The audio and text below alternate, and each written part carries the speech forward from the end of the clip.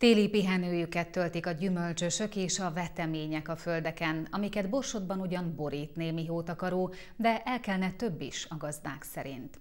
A tavalyi asszály miatt a termőföldek nedvesség tartalma még mindig alacsony, ezért kellene a mostaninál vastagabb hótakaró a gazdaságokban, ahol most is dolgoznak, az ilyenkor szükséges munkálatokat végzik.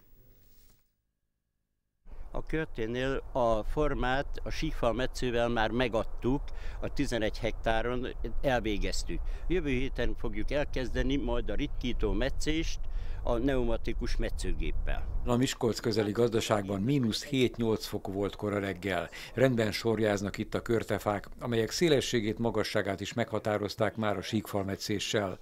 A tavalyi asszály hatását nyögik még a földek, amelyekre sokkal több hó kellene, mint amennyi jelenleg van. A ősz száraz volt, vártunk arra, hogy csapadék jöjjön, a búzát elvetettük 45 hektáron, hát szögbe volt, mire a hó megjött, ez nagyon jót tett neki.